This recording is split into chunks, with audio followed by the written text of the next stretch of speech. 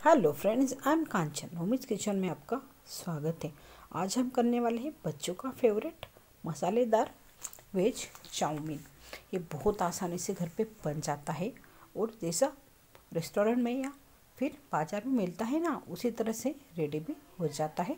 चलो फिर देखते कैसे बनाना है। तो यहाँ पे मैंने कैबेज ली है। कैबेज को मैंने बारीक बारीक पीसेस में काट लिया है। उसके साथ लिया गाजर, शिमला मिर्च ओनियन ग्रीन चिलीज धनिया, जिंजर और गार्लिक को भी मैंने बारीक बारीक पीसेस में ही काट लिया है। तेल में मैंने पानी गर्म होने के लिए रख दिया था। उसमें मैंने थोड़ा सा सॉल्ट ऐड किया था और वन टेबल स्पून ऑयल डाला था। पानी हमारा गर्म हो गया है। उसमें मैं डाल रही हूँ नूडल्स यहाँ पे मैंने एक पैकेट पूरा नूडल्स लिया था और उसे मैं तोड़ के डाल रही हूँ। आप बिना तोड़ के भी यूज़ कर सकते हो, लेकिन आप तोड़ के यूज़ करेंगे ना तो ये खाने में ज़रा आसान हो जाता है और बच्चे भी इसे खा सकते हैं आसानी से। तो अब हम इसे उबाल लेंगे एक पाँच से सात मिनट के लिए। हमारे नूडल्स अच्छी तरह से पक गए हैं। देखो ये आसानी से हाथों से टूट रहे हैं। तो अभी इसका पानी निकाल लेंगे। नूडल्स को मैंने बॉल में निकाल के रखा था और उसके ऊपर मैंने थोड़ा सा ठंडा पानी डाला था। कढ़ाई ली थी। कढ़ाई में मैंने ऑयल गर्म होने के लिए रख दिया था। उसमें हम डालने वाले हैं जिंजर गार्लिक और ग्रीन चिलीज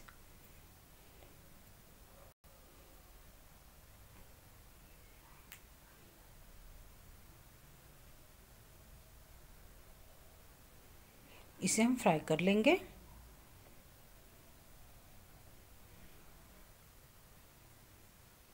अब हम इसमें डालने वाले हैं ओनियन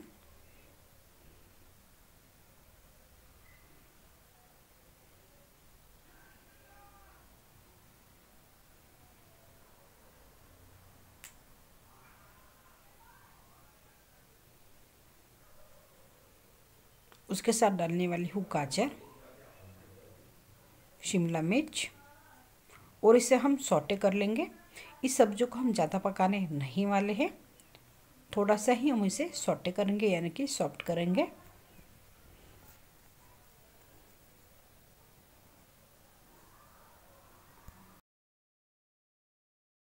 अभी इसमें मैं डाल रही हूँ हमारी कैबेज जिसे हमने काट के रखा था और इसे भी हम सब्जियों के साथ सोटे कर लेंगे। सब्ज़ियाँ हमारी अच्छी तरह से सॉटे हो गई हैं। इसमें मैं डाल रही हूँ धनिया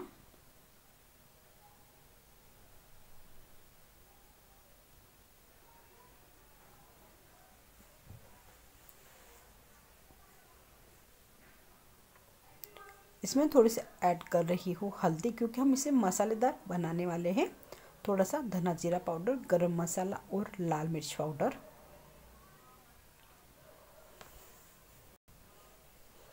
फ्राई कर लेंगे।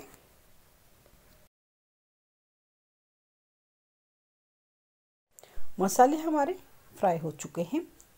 इसमें डालने वाली हूँ chilli sauce one tablespoon, soya sauce one tablespoon tomato sauce, one tablespoon और विनेगर, हाफ़ टेबल स्पून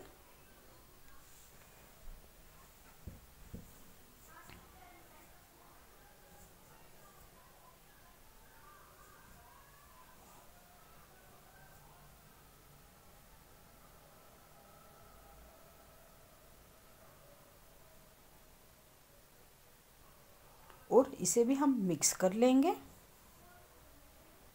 थोड़ा सा सॉल्ट ऐड किया है।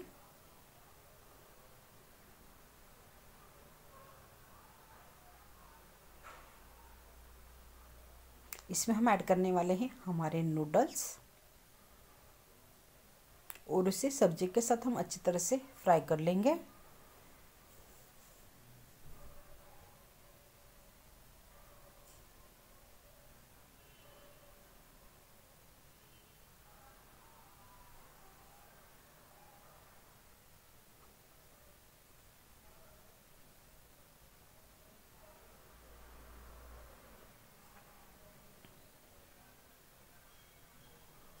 और इसे हम दो मिनट के लिए फ्राई कर लेंगे।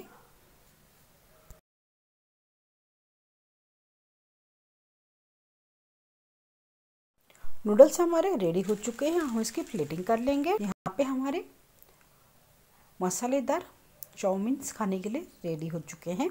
आप ये रेसिपी घर पे ज़रूर ट्राई कीजिए और आपके अनुभव मेरे साथ शेयर कीजिए।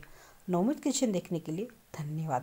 वीडियो अच्छा लगा तो लाइक को शेयर ज़रूर कीजिए और मेरे चैनल को सब्सक्राइब करना ना भूलें। थैंक यू फॉर वॉचिंग नौमित किचन।